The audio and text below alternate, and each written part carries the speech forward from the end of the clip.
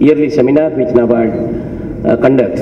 It is actually a bonus to me that I am amidst all of you today for sharing my thoughts and also to listen to the performance parameters of bankers and state governments in Andhra Pradesh who have made Andhra Pradesh, as Monaya was mentioning, a happening state in more than one respect.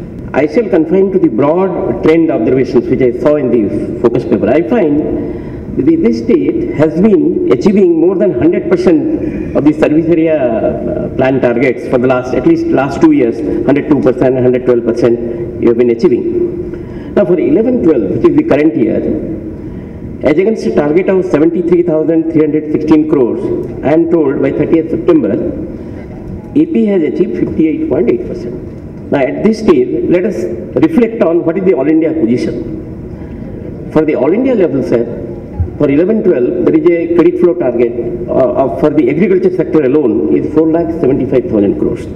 And I have data of achievement as on 31st October. 31st October data is 2 lakh 61,000 crore has been achieved all India level. That is 55%. If I take the data for 30th September, it was actually 48%. So it indicates that AP is ahead of the all India trend as of now.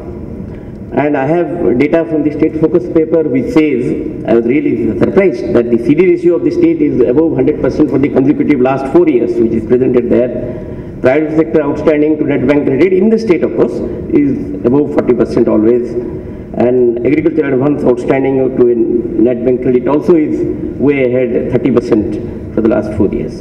So there is no doubt in my mind at least that the 11-12 target the bankers and government put together, they will achieve the target uh, above 100% this year.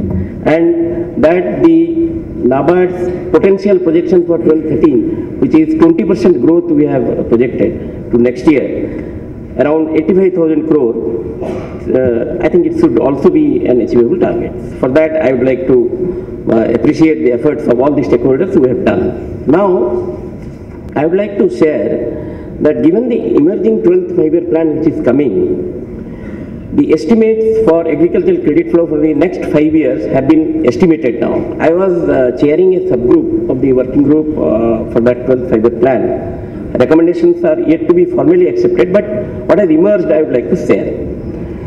Nearly 40 lakh crores of credit has been estimated for 12th five-year plan in the agriculture sector, that is crop loans and agriculture term loans for the entire 12th five-year plan if the country is to achieve 4% growth in the agriculture sector.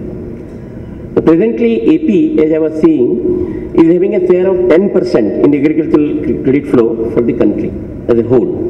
And even if we want to maintain that 10%, of course we should grow uh, bigger than that. The agriculture GLC for the five year in AP itself for the 12th five-year plan should be around 4 lakh crores. That means 80,000 crore roughly, it can be a graded uh, achievement. Around per year, we should target so that we contribute to 4% uh, growth uh, of agriculture.